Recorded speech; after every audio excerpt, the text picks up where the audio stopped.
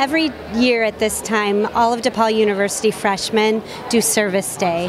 And we felt that our freshmen and all of our student athletes should get involved in that and really feel the spirit of St. Vincent de Paul. We need to be aware of our community and maybe even make it a better place by doing something this simple to make blankets to give to children um, who may not have the opportunity to have one otherwise. So this year we did something a little different where we added a like Heart DePaul Blue Demons on them. My kind of part in it was uh, ironing them on basically because bunch, a bunch of the old school iron on uh, like emblem sort of thing.